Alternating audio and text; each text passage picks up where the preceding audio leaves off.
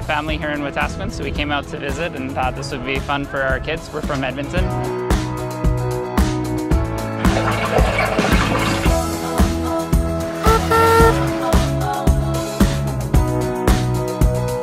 so much fun because we get to like milk a cow and we get to make string, make butter, and that's really fun.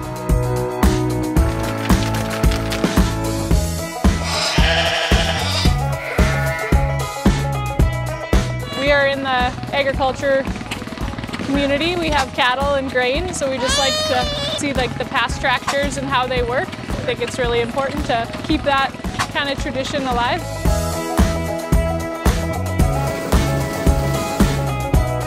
This like is my first time being here. I'm actually like it's really fun.